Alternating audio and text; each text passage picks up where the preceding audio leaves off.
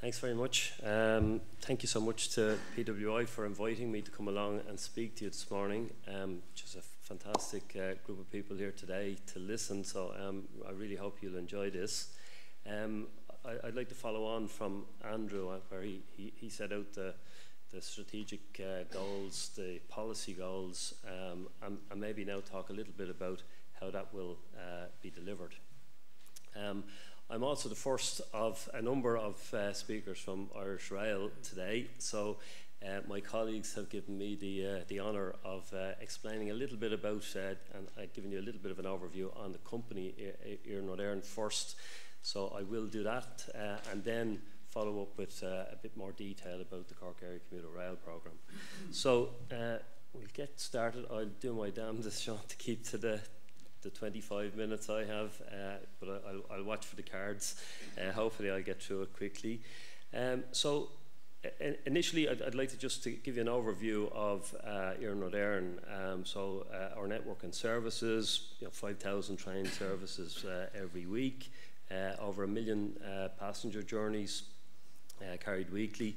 Four, four and a half thousand, it's actually nearly 4,600 4, employees currently uh, fleet of 670 uh, vehicles um, on our fleet, 145 stations. Very shortly, we'll be going to 146. Um, but I, I, would hope that uh, the next uh, eight stations on the network will be in Cork, and I'll go to that there in a, in a few minutes. Um, just give you a, a sense of, uh, and Andrew mentioned this in his presentation, uh, the demand. Um, you know, significant dem demand for rail. And, and, and I'd focus mainly on post-COVID because uh, uh, you know I think everybody understands what happened uh, during the period of COVID. Um, but we're we're seeing now back uh, at uh, in 2024 that we're back beyond and, and exceeding our 2019 largest ever uh, uh, demand for rail, uh, so over 50 million passenger journeys. And that's very significant. I'll, I'll give, give, you a, a flavour of, of, how significant when it comes to uh, the Cork area. In terms of delivering the, the strategy, um, our goal, uh, so we have a, a, a series of strategies, uh, um, short and medium term, that will help us to deliver the vision.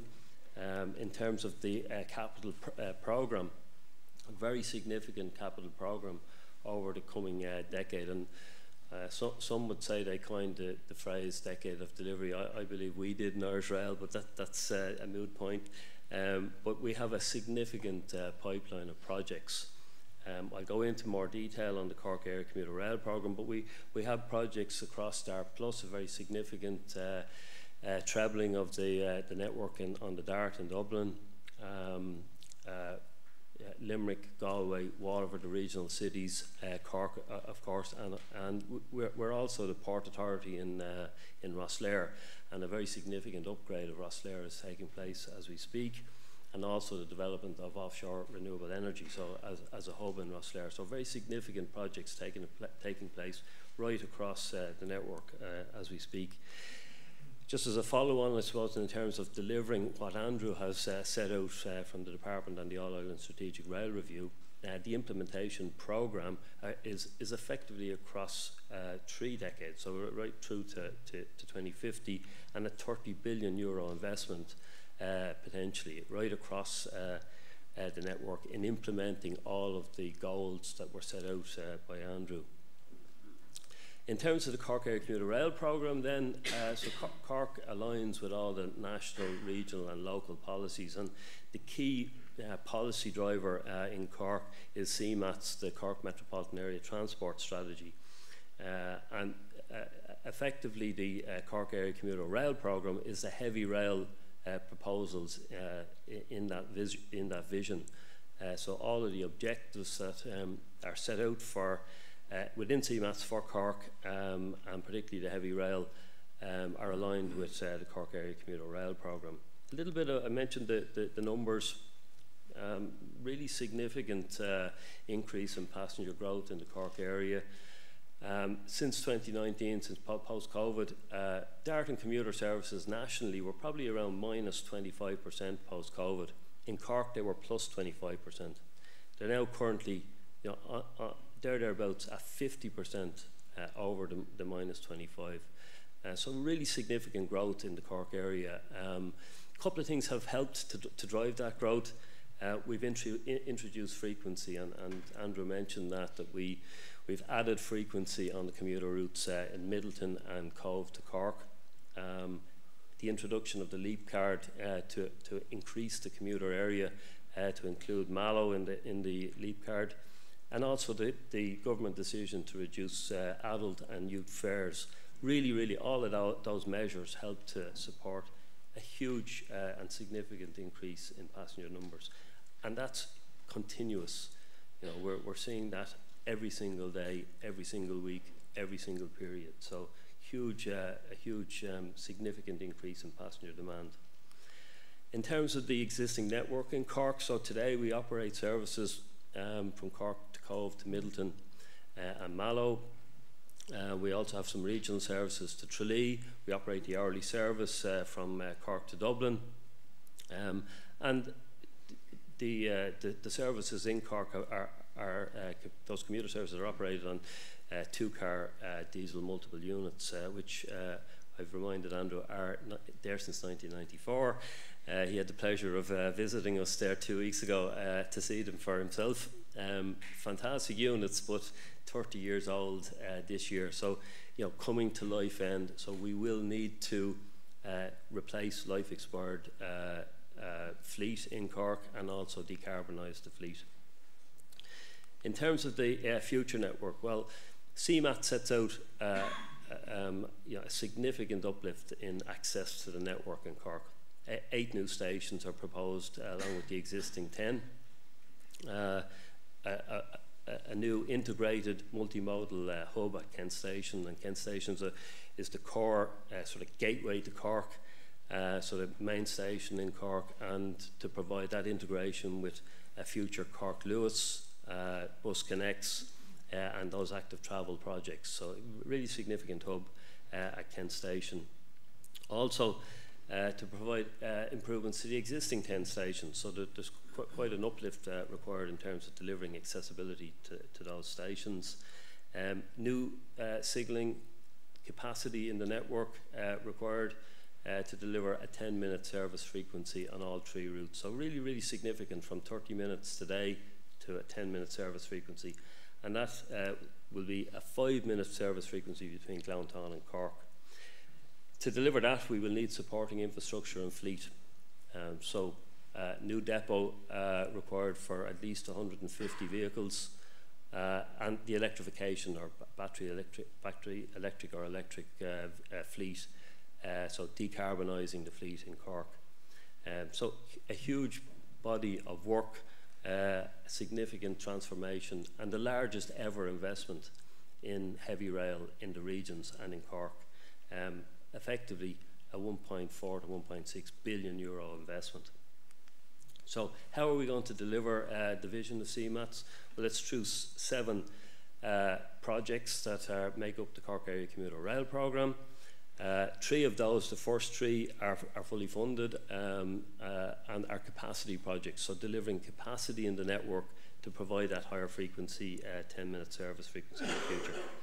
Uh, and the other four uh, uh, projects include new stations and upgrades to and resilience measures on, on the network, um, the new fleet depot, electrification of the network, and also the new rolling stock, the new fleet so just to give you a little bit more detail about the, the, the projects themselves, the first three are uh, funded by the EU uh, Recovery and Resilience Fund, so we've had a, a really accelerated uh, approach to those projects, early delivery, um, and the first one of those is the Through Platform at Kent Station. So it's providing uh, through running um, access from uh, Midleton and Cobh through uh, Cork to Mallow without having to terminate at the, the main station in Kent.